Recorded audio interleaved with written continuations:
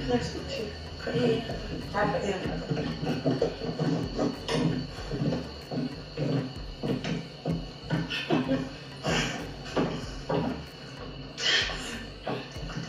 There you go. What are you saying? I just want to get this off my chest because I don't want to even like give it energy, but Oh it actually upset me when you called me selfish in dressing room. Did it? Yeah, that really upset me because I wouldn't speak to my friend like that. Like I feel like that was a bit coming from my character. I wasn't joking at all.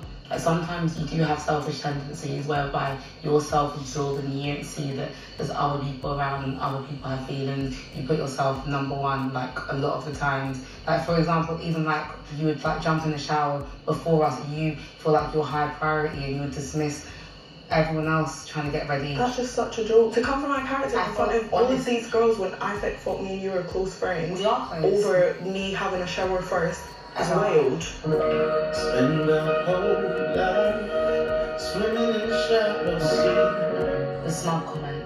The fact that you and Ty put me down as the most smug couple. It's a challenge. It's an honesty challenge, and clearly that got to you, which is why you came for me talking about selfishly when there was nothing even Ella. happened today for you to even say that. Ella, Uh-uh. She's shouting. now you're flipping the script. A selfish comment came from me asking you, how long are you gonna be in the shower? And then you taking 20 minutes. Maybe This maybe you're because of a not. Maybe you're not, but to me, you, you are you have selfish traits.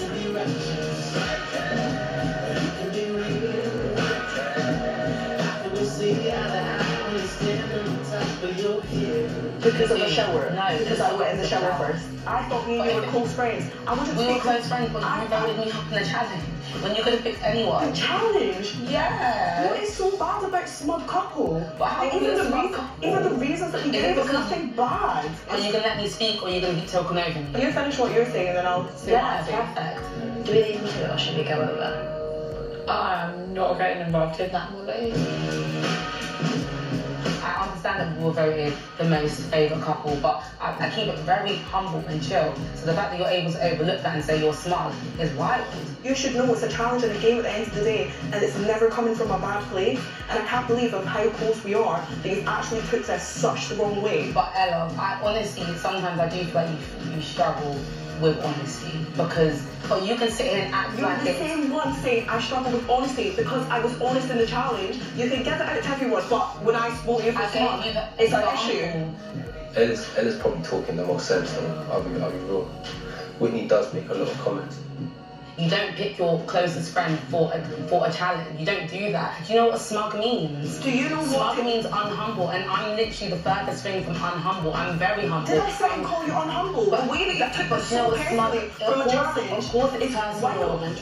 If me calling you selfish came from this challenge, God strike me down now. Okay, where did it come from then? Look, Because of a shower. Don't sit here and claim bestie title with me when you read me, read me for smug. I don't claim sit here you and bestie. title I don't. me. I don't I won't. Okay.